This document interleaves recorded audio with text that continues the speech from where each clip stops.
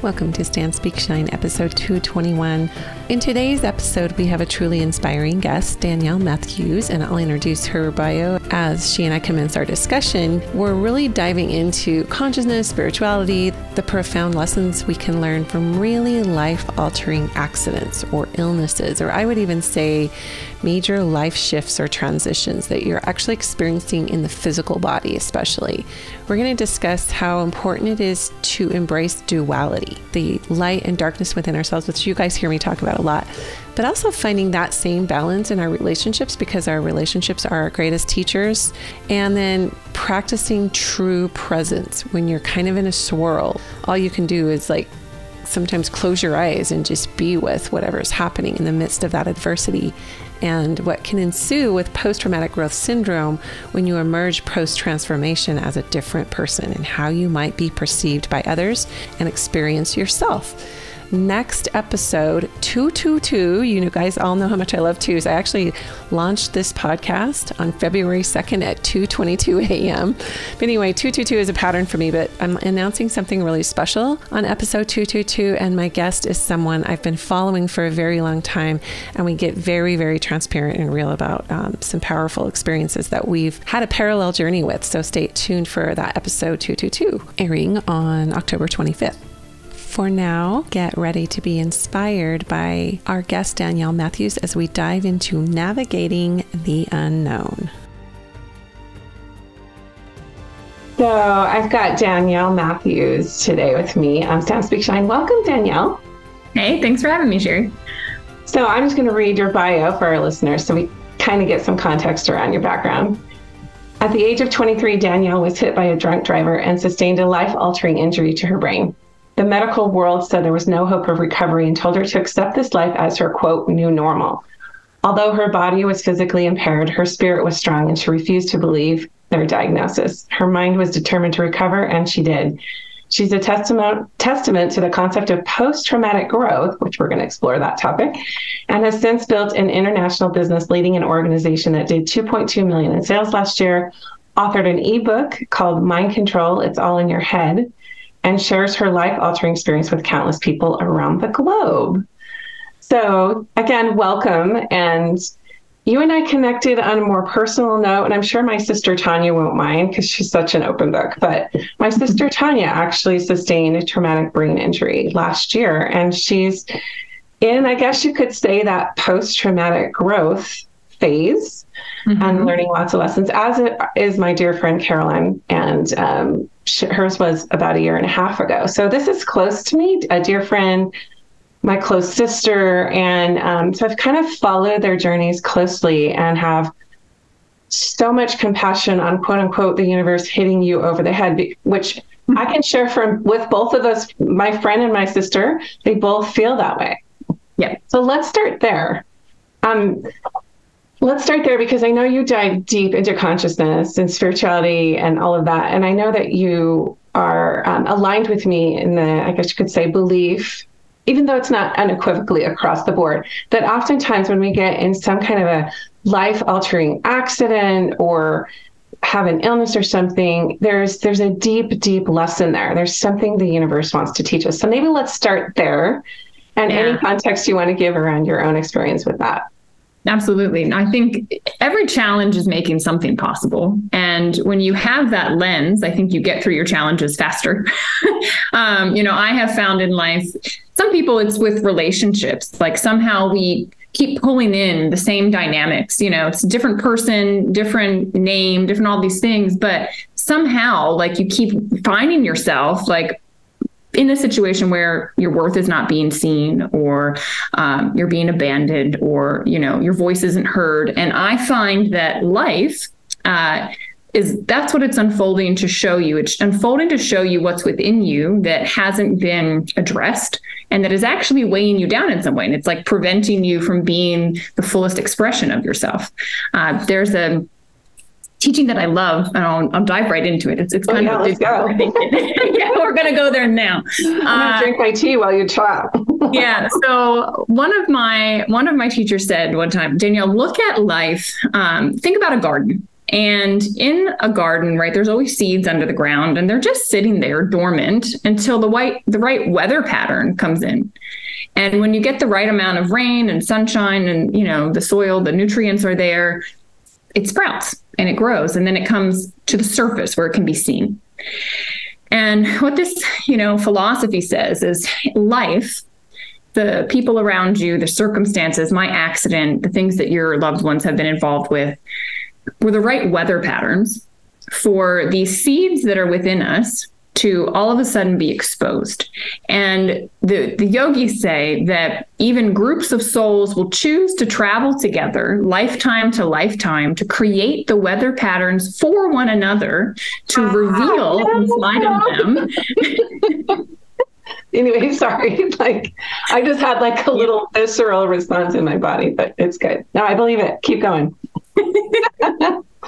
yeah. So uh, I know sometimes it strikes these chords and you're like, oh, that's too real. But it's like, it's to me, this why that's a deep teaching and to say, okay, so these souls are in my world uh, to reveal to me something I can't see myself. Like we don't know the seed is there until the weather makes it sprout. And so much of so many of us, like so many times in life, we blame the situation or the person. And we say, well, like for me, my car accident, I forever was like, this isn't fair. I didn't deserve this. This shouldn't have happened to me. You know, I had all these feelings of victimhood uh, baked into my being.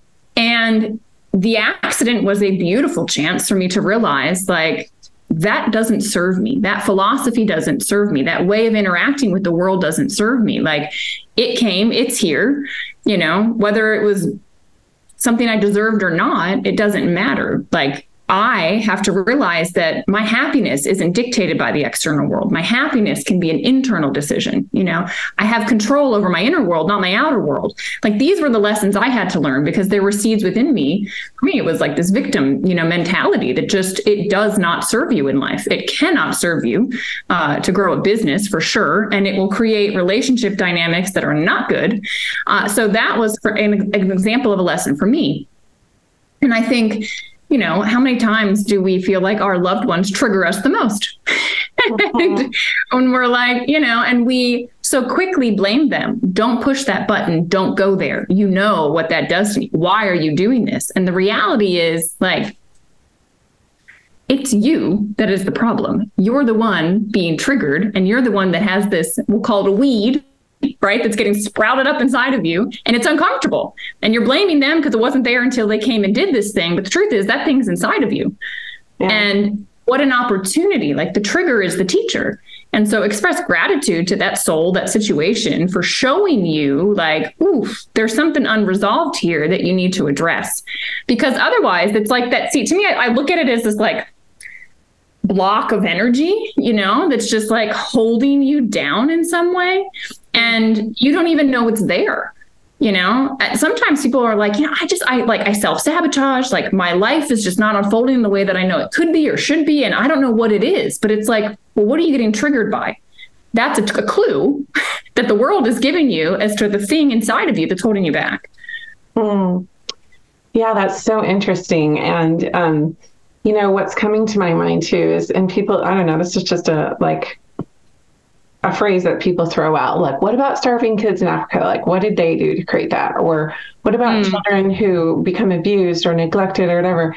And i read this book probably gosh 20-ish years ago by carolyn uh, i want to say it's Caroline Myss sacred contracts mm-hmm. and it's very similar to what you're saying and i've heard other teachers teach it in a myriad of different ways over the years but it's essentially like we form these contracts or um, like you're saying with soul groups or families or you know to create these weather conditions and say okay i'm going to come cloaked this way to teach you but we're just having like a pre-earth conversation with souls like however that works i don't know but like i'll come down i'll trigger this in you because you have a karmic wound here or you have some lesson here that i can help bring out so you don't keep repeating this over and over and over again um, and it's so interesting because I have a couple of really marked experiences in my life where I know this to be true in my very cells, bones, tissues, blood, everything down to the DNA, spiritual DNA level.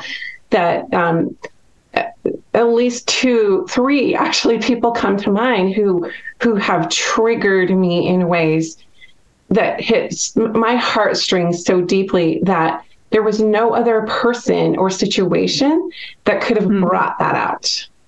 Yes. And so and and you know, one of them is one of my child's birth mothers. Um, mm. And I'll just say it's my daughter Emma's birth mother, and it's a long story and very spiritual story, actually. She's my youngest daughter. But her, the events around her birth were so precarious. The situation was so dangerous. And like she ended up saying she was going to place Emma with us. And then I went and bonded with her at birth, and she changed her mind. And and it was really dark. And then three weeks later, CPS, Child Protective Services, came and took her out of the home, and mm. six court hearings later. Anyway, that birth mother, Madison, and I'm sure she's great with me yeah. sharing this because it's also going in my book, and we've had open conversations about this. She's done a lot of healing and has had other children and gotten married since then, but it was a very, very dangerous situation. And I pulled out all my life coaching skills, all my parenting. I already had five kids. Like I was pulling it all out and nothing worked except mm-hmm. surrender and love. Yes. Love. I just had to unconditionally love her because she never had been this yeah. birth mother. And now um, it's really beautiful. And Emma's nine. And anyway, I that's just one situation that I'm like, I know Madison is a bright, beautiful soul, but who came to, decided to come down and have her own lessons. She was in foster care herself. Her birth mother served time in prison. She had a very abusive upbringing. And here at 19, she has my daughter. Mm-hmm. And so it was just a very, very precarious moment by moment situation. And in order for her to not reunify, because the courts want the the birth mother to reunify with the child that's in foster care, mm-hmm um, in order for her to not reunify, she had to stand up in court on the sixth court hearing and say, and put her attorney away and say, I want the Burtons to adopt my baby. Like it shocked everyone in the courtroom. It was high courtroom drama. We were there, we were crying. Anyway, so, you know, certain souls will come cloaked in different forms that we may see as dysfunctional, we may see as wrong, let's just say, that the lessons they teach those of us who are quote unquote in the right um, are profound. Yeah. Absolutely profound. So, with that climate analogy you just used, with the soil conditions and the seed and the weather, um, one of the other quotes I really love is that we are the waters our children are swimming in. Mm. And we were we're actually the waters that anyone is swimming in that we're with. Yep. So when you're talking about victim consciousness, let's dive a little deeper into that. Um, because that's also been up for me a lot. Like, how do you know what have you experienced with that? I know you work with people, and I know that you yourself have. sounds like you have had quite the journey out of that victim mentality. Um, what if someone truly is a victim? What if they are on the receiving end of something really horrific that they, um, let's just say, didn't attract? Because I hate that's what I hate about the law of attraction. You attracted that, or you know. Um, and it might be true, but I'm just thinking of really horrific conditions where somebody is truly a victim. Mm-hmm. Let's just say of um, sexual violence. How how do you frame that? With not going into a state like unequivocally across the board, like you chose that or don't be a victim. Right. I mean, it's intense. You think like domestic abuse, you think of sexual assault, like all of these things. It's, you know, no one is saying, I'm not condoning those things. I'm not saying they're right. I'm not saying anyone deserves to have those things. But um, sometimes the darkness is what allows you to appreciate the light, if that would make sense. And I think a lot of times I have this behind me, this yin yang, and I have one here on my desk because I think, you know, everything, the totality of it all is what you said before love. Like we are love, everything is love. And when we come into this earth plane and we're here in this 3D world, uh, polarity exists because in order to appreciate the light, you must know what darkness is. In order to enjoy love, you must also know what hate feels like. Mm. And I think uh, as humans, we have this. Uh, our mind jumps in and says, well, one is right and one is wrong. One is good and one is bad. One is okay to feel and the other is not okay to feel. And I think that creates duality and it creates situations where um, we're at, in conflict with what is. And it's not to say one is better than the other. It's to say, well, this is here. What could it be revealing to me? You know, what is it showing me? Uh, what is it teaching me? Maybe it's teaching me how to have unconditional love for everyone because other spirits are so confused as to who they are and the truth of it all. Um, that's deep and that's hard. Uh, maybe it's to figure out, you know, your own self worth. You're going through the dark, dark, dark, dark, dark because you're not believing that you're worthy of anything better. And, and sometimes it's like life will give you lesson after lesson, opportunity after opportunity. And after you don't get the lesson, it gets louder and louder until it's so big you can't ignore it. Like it breaks you. And I've got so many things on my desk, but like this. So I yeah, everyone about, that's watching on YouTube is getting some cool visuals. She has this yin yang thing that she pulled apart. yeah. So um so for those that that are listening, now I've got this like black rock in my hand, and I think sometimes. Uh, we like getting broken feels so intense and we resist it because it doesn't feel good right? That's the the duality part. But sometimes when you break it breaks open to something beautiful. Oh, geode. And, what is that? It's purple. Yeah it's it's a it's a pink beautiful geode. Um and like i put that on my desk because sometimes you know you you question life. You're like why? Why does it have to be so difficult? Why would things happen like that? And i have such a strong faith that every soul is going through its own i think of it almost like a jungle gym this lifetime. It's like its own learning journey because of things that it wanted to seek to understand and experience right? The the yogic philosophy says look when you're at oneness when we're just this when we're the ocean we can't experience that. We have to come into expression. We have to come into physical form. We have to come into this body to experience the world. And when we do that, we have to have polarity because we have to be able to experience the dark to know the light. Right? It, it is necessary, but we get so confused as humans because we have the ability to think like animals. You know, I watch my dog and my cat all the time. When something intense happens, tra- traumatic, you will see they'll shake after. And it's like they shake the energy away. Mm-hmm. You know, uh, people, we don't like to feel it and we kind of push it down and we don't we don't let it go and it starts to build up in us and it becomes pr- uh, problematic and we start to go i don't want to go there you know that doesn't feel good whereas if we had just released the thing if we had let it pass through without all the emotional attachment and whatever chatter about it we'd be better off like an animal uh, they're still connected, you know, to that divine intuition. Um, people are not, but that's the whole point, I believe, of the human journey is to come back from the duality, from what the mind is saying is good or bad, from our own experiences, and to saying, okay, like it all can just be and i'm going to be the loving receptive thing to all of it not judging anything because i don't understand not saying i condone it not saying it's okay but when things unfold, I stop and I go, all right, well, why is that move being made on my chessboard? Like, what could it be within me that maybe is unfinished? Or how is this uh, pointing to something else? I think, you know, I, I, again, I'm not saying anyone deserves to be abused or assaulted or anything like that. No one deserves that. But if you look from a higher perspective on the soul level, knowing that, okay, I came into this life to understand and learn something very deep if you want to learn how to unconditionally love, you were going, like yourself, to have to face some really heavy things that your mind is going to scream at you like, no, I can't love the everything but. Like, there's the yeah. line. And wherever that line is, is the thing you're going to butt up against because unconditional love allows for it all.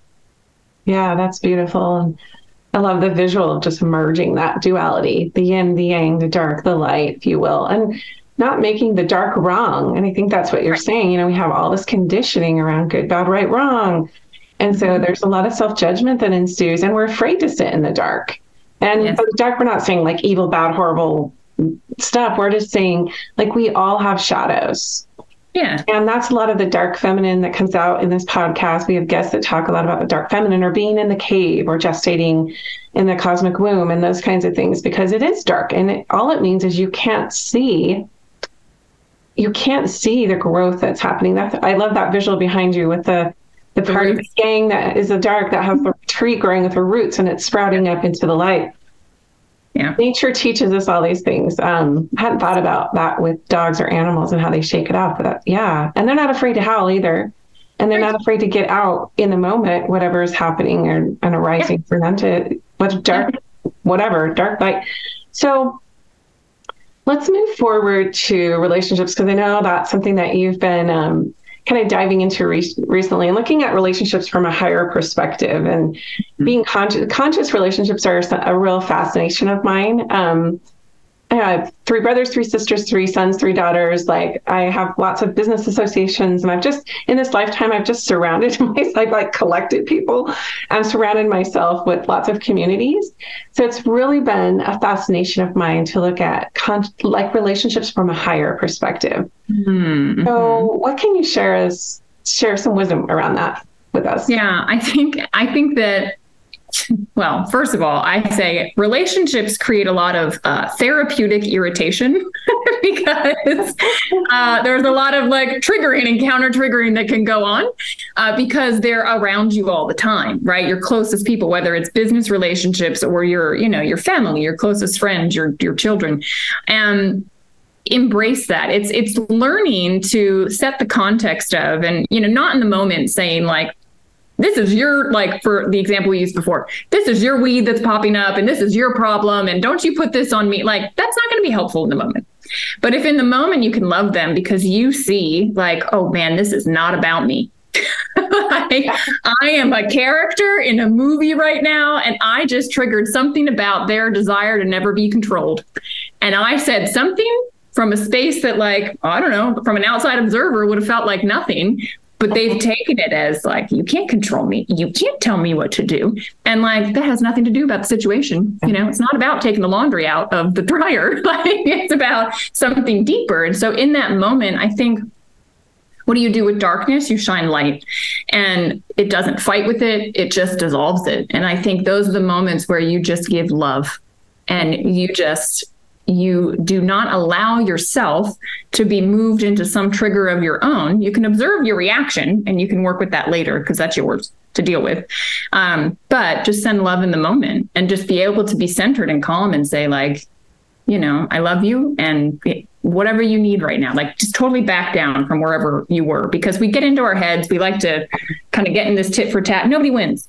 I think a conscious relationship is realizing that you were there to support your partner in seeing the things they can't see within themselves so that they have the space, a beautiful, loving space to work through it and to be received and to know that it's okay that that's in there. You don't have to hide it because only then it's going to pop out at times that are really inconvenient. Uh, let's work with it when it shows up. And, you know, I think sometimes we, uh, I mean, I did this for a long time. I would get into relationships where I felt like the other person um, finished me, if that makes sense. I don't know if that word is right, but it's you like complete right? me. Yeah, right. I needed them to feel complete and whole. Yeah. And then when it when they weren't doing the things I wanted in the way that I desired, you know, the way that would make me feel good and loved and all those things, I would get upset I wasn't loving them or allowing them to be who they were. It was like I had this expectation of like, well, you need to make me feel good, and you used to, and now you're not, and this is a problem. Uh, and and the reality is that I've learned is you know that good feeling has to come from within. Like you have to be whole and complete on your own. And I think a good conscious relationship is that where you love the other because together you're amplified because together you've agreed to help hold space and like help one another grow. Um, but there is no like the codependency isn't there you know and i think that's where a lot of dynamics get crazy because we expect the other person to do our work for us but it's our work our inner work is what I'm talking about. And sometimes you can get so enmeshed and make, if you, especially more on the empathic side, where you absorb their trauma, mm-hmm. let's just say, or their un- unresolved, you know, healing issues.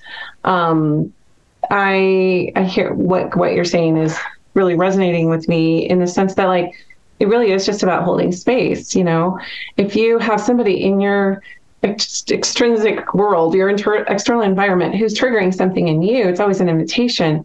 Usually we want to just hurry and it's so like it, the the trigger's so painful that we just want to deflect it and project it out and make it about them. So really it's just holding space for what is triggering been triggered within you and love yourself. Like I think it was Eckhart Tolle uh, who said, you know, something to, and I'm not going to get this verbatim, but it's something about when you wake up to the fact that relationships are here to make you conscious instead of happy. Uh-huh. That's when everything changes because all of our societal conditioning is around what you were saying somebody doing making you feel good somebody completing you somebody you know bringing out the best in you but really, if it's a conscious relationship, they're bringing out the worst in you. well and I say that like keep yourself safe, keep you know take care of you. Don't stay in an abusive. I'm not saying that. Don't stay in right. abusive. But but if that person loves you and they're holding space for your soul evolution and conscious growth, they're going to bring out some of the worst aspects of who you are. That's why you're together. That's why you yeah. attracted each other. Yeah, and it's and it's it's so beautiful when it can happen, but it's it's so difficult also because sometimes it's like we just want a, a break from it. It's like we use the relationship as an excuse to not have to like, you know, feel these parts of ourselves that we don't like. And when you're in this like loving space, uh, at the beginning of every relationship, right? It's there. And then the problems creep in because, you know, then you really get to know each other. The parts that have, you know, those little seeds that are under there start to get triggered. And that's where the consciousness comes in. I love, I literally, I have uh, The Power of Now right here, Eckhart Tolle's book. book. Yeah. Um, I've just the first time I picked it up, I had a woman say to me, Danielle, if there was one book that you could read, like in your life, you were told you get one book for life. She said, that's the book. And I went, well, that's now by Wayne Dyer. Yeah. yeah, quite an endorsement. I've got that book and I haven't I haven't read it for a while. Uh, wow, what an impact he made in this world! Like mm-hmm. insanely um, conscious and way ahead of his time, and talking about things maybe that we weren't completely ready for. Um, yeah, but go ahead. What what what do you love about that? Like like if you could distill it down to how it created a divine spark in you, especially as we're talking about post traumatic growth syndrome. Right. Oh, yeah. How does that align with the power of now? Well, I think, oh my God, that all aligns. Like, okay, well, the power of now with with this book, what it, what it's talking about is basically to be able to be present and realize the moments where you're getting triggered or your mind is chatty about something, that's pulling you into the ego. It's pulling you into what he calls psychological time, where you're butting up the experience to, against your past and saying, Well, I've in the past liked these things, so this is good. In the past, this hasn't gone well, so I don't like it. And you're every time you do that, you're pulling yourself away from the magic of the now and experiencing like the fact that in the now, everything just is what it is and it's beautiful and it's divine and it is that is the all encompassing it's like the sky that's there no matter what the weather is like it's just all embracing thing. But the moment you get pulled into the hurricane or the rain or the snow or the whatever's going on like you miss the bliss of being able to just be the supportive backdrop of it all. And i think that to me, trauma, uh, going through really intense things like I did with my brain injury, like your your your loved ones are on their journey of I believe that it's what brought me closer to. It was like I had to, I was in this hurricane, right? My life looked nothing like it did before. I, with the brain injury, I couldn't work. I couldn't hang out with friends. I was told I'd never be able to snowboard again, which was a huge part of my life. Um, everything that I thought I was was taken. And so then it was like, well, what's left? And what was left for me was the present moment because I couldn't think about the future because I get severe anxiety and panic attacks. And I couldn't think about the past because it was like slipping away from me more and more this person that, you know, my mind had said I was, all the things I had done in the external world and my achievements and accomplishments and whatever. When that was all gone, it was like, well, what's left? And what was left was the present moment. And I was so forced into it. It's like every spiritual practice tells you to go there. Um, I, by just sheer force of the environment I was in, had to go there. Like I couldn't plan 10 minutes later because I didn't know how I'd be feeling. And I found the beauty. It was like, this has been sitting in front of us always. And we've been so distracted by life and, you know, circumstances and trying to achieve and getting the relationship and getting the job and getting the right things for our kids and all the material things that it's blurred our vision to the reality of like what's really in front of us and how just, I mean, it's nothing but it's blissful. Like when you can, when you actually see it, it's like, you, first of all, you can't unsee it. yeah. and then it's with you always. And I'm, to me, post traumatic growth is when someone is able to take a trauma that they've been through and use it as the catalyst, like I showed with that geode, as the thing that opened them up to something even more beautiful that without it without having been shattered broken down to nothing having to lose you know everything the ego said you were without that it never could have happened. And it had to be so big and so intense that it shook you on the core level to go, oh my gosh, my soul came here for something else. There's more to this than just my mind and, you know, these material things. Like, as yeah. wonderful as they are, and we're here to enjoy them. Don't get me wrong. I'm not saying renounce your life and like go meditate and don't do anything. No, like have goals, go achieve out in the world, like go produce, but do it from the space of just enjoying the moment to moment not like my happiness comes when I get there and, you know, it all will be better when I achieve X. Because the reality is, no, you have no right to the result. You have the right to your actions, to enjoying the process. And that's life. and as the process is kicking up stuff inside of you, like that's why you're here. That's the work. You know, that's the beauty of it. It's like a playground. And I think post traumatic growth, if you talk to people that have been through severe traumas, they'll tell you, like, I'm so grateful that happened because my perspective now on life is completely shifted forever. And it's changed every relationship, everything that I want to do, the way that I talk and interact with people. You'll find that they're more, um, there's a I have found a peace inside of those people, an awareness, um, almost like a magnetism of like, well, they they've touched on something that I think everyone is seeking, um, and you know, they went through the darkness to to find it. Yeah, the two the two dear ones, Carol Ann and Tanya, to me, who have had these, and, and we're talking about a physical issue, but I know there are people who deal with this on multiple different issues, but we just happen to be narrowing in on something that literally stopped them. And, and my friend Carol Ann uh, has said that she was praying that before this happened. Okay, I promise God, after this, I'll slow down. Like she was uh-huh. literally having those conversations with God in her head. And um, my sister also was saying, like, um, you know, just they're both busybodies and they're both hugely influential people. They have they're both coaches. They influence a lot of people. And um, my sister Tanya and I have had really in depth conversations, and she's like, "Yep, this what this this puts me i am forced to be in the present moment. I i have to narrow in on the now because otherwise i just suffer. Like yeah. like you were talking about the anxiety or just um like oh right now i'm dizzy. I need to shut my eyes or right now this or that. And just the self the moment by moment self-care that has um, been kind of an outgrowth of this. Yeah um okay so what what do you as we kind of wrap this up let's talk about practical ways that you have found are very impactful for people to be in the present. Let's just say well there's a couple of scenarios. Um, what if what if what would you say to a listener who feels like they're sitting in the dark right now? They just mm. maybe they're in a life transition or they're going through something really traumatic. For me when i was going through something really traumatic i call it like my dark night of the soul period um, I was trying to minimize it, so I wasn't allowing myself to fully feel it.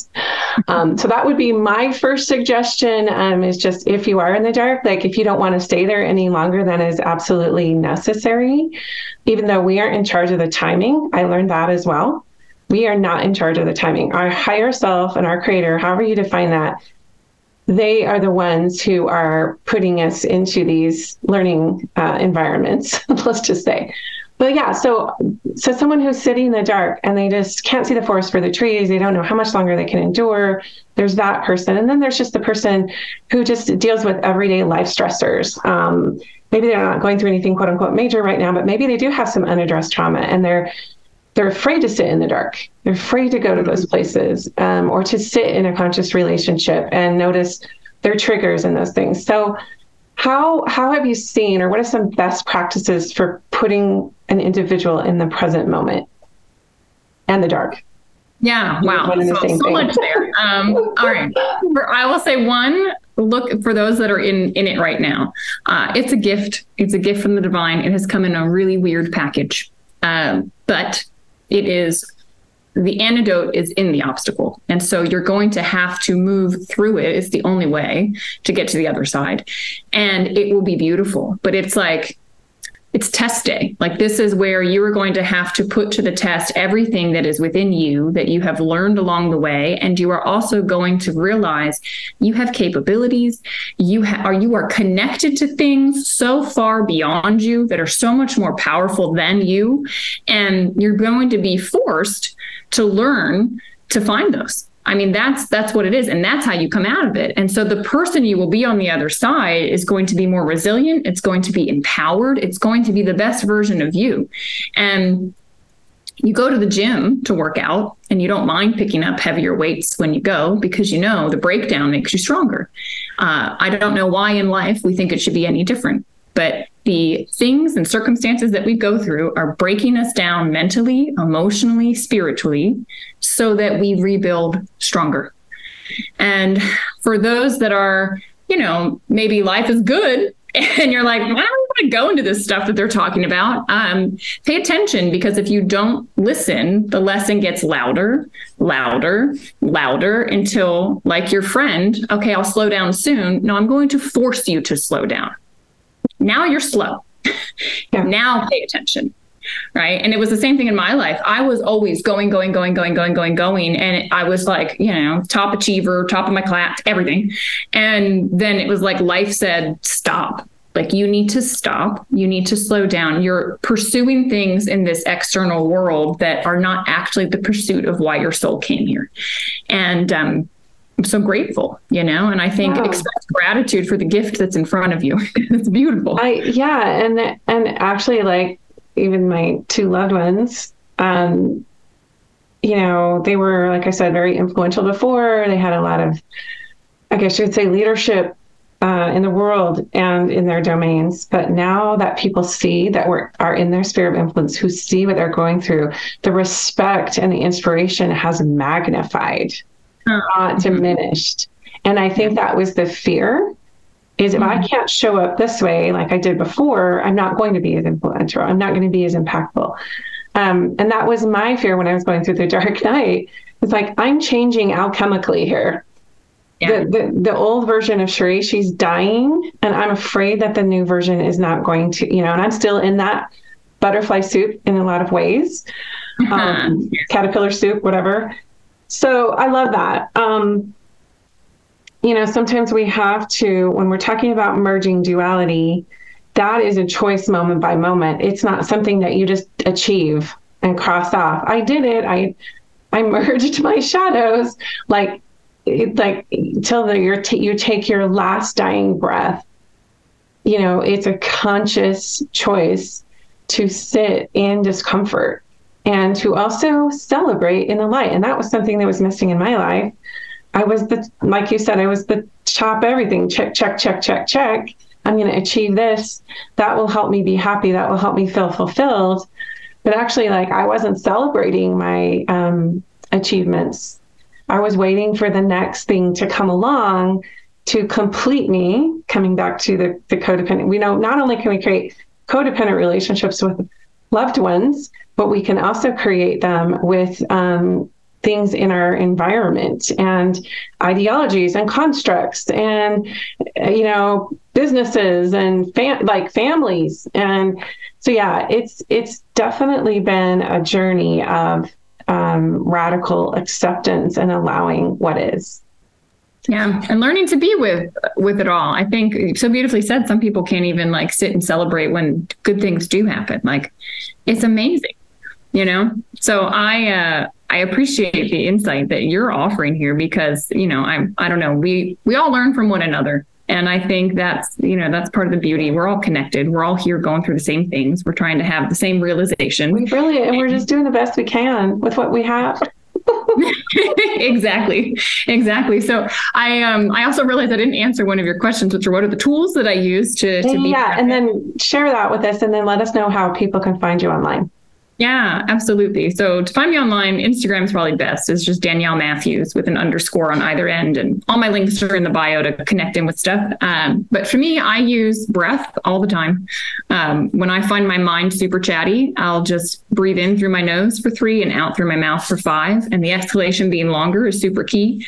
Um, but it just brings me right back in and it, you know, balances my system. I also make sure I'm out in nature all the time because nature to me is this balanced space. And when I get there, energetically, it also balances me and it allows, like when you're just in the quiet, to yeah. me, it balances, you know, your well, in my, the philosophy I learned, it's like the chitta. It, it, balances this this this energy within you that is you. Um, and I use yoga nidra. It's a guided meditation, and um, I do. I do that during the day if I need a nap. I'll just do yoga nidra. yeah, it's powerful and it takes you deep and um, yeah, and, and reset some some wonderful things. So those are all the the modalities. Do you have a favorite um, practitioner you follow? Because I I, I follow someone on YouTube. I can't remember her name for Yoga Nidra. Do you have some of the? Yeah. Well, I I'm a facilitator of it on my website. I have oh, uh, nice. Yoga Nidra. So if people want to explore it, they can go there. It's brainbodyself.com. It's under the self tab. Um, but I study the Amrit method, A M R I T, and my favorites out on YouTube. Uh, John Vossler. I love his. Okay. Uh, he was one of my teachers. Very cool. Very cool. Well, that's amazing. And I know we're like recording this before the holidays, but this is airing right in the middle of the holidays and the hustle bustle. And I can't think of any better practice to just come back to present when all of the all of the stressors in our environment are clamoring for, you know, like that it Christmas to me is such duality because um, as a mom, there's a lot to do, and there's a lot, you know, there's all these things that come up with busyness, but then there's also so much to celebrate. So it's kind of that that beautiful time to just kind of put this into practice. And I, I think yoga nidra is is really powerful for that. And then like you're saying with nature it really is a natural calibrator of a recalibrator, I guess I could say, of, of our internal state, just being in that earthing place, connecting to the elements. So, thank you. This was really enlightening. Um, and for our listeners who um, do you have uh, a, pl- a program or a, a, place that people can go to initially just to find the meat of your work? You mentioned Instagram. Not all my followers are on Instagram, but what was the name of your website again? My website is brainbodyself.com. And I'm on all the platforms like Facebook, TikTok. Like you can find me, reach out. I'd love to, and um, would love to, you know, help anyone on the next step of their path that I can. Beautiful. Thanks so much for this discussion, Danielle. This was really enlightening for me. Yeah, Cherie, thanks for having me on. Thank you so much for listening. And you know, there's so many lessons to be learned amidst adversity, like really painful, almost like a shock state where you're just in this suspended state of complete uncertainty, like your whole world exploding, that level of a line in the sand, really, from the universe, and sort of this nudge from your soul to take a grand time out that's actually what I'm intending to do in some respects. I mean, I haven't had a huge traumatic life thing happen, but I do have some things in the work. And actually, the universe is just like ramping it up for me to witness and see that I need to take a time out for a bit so there's going to be more to follow on that in my next episode. 222, as I referenced in the intro, 222 is a magical number for me. It's a pattern that comes up a lot. I look at the clock and it's like 222, and I've just had a lot of red thread, divine timing things happen around those three numbers, and they are master numbers. So, anyway, the next episode, um, I'm going to go into uh, what's next for me and what you can expect from this podcast and some of my offerings and messaging moving forward, especially as I hunker down to finish up my memoir. Have a lovely couple of weeks, and we'll talk to you next time on Stand, Speak, Shine.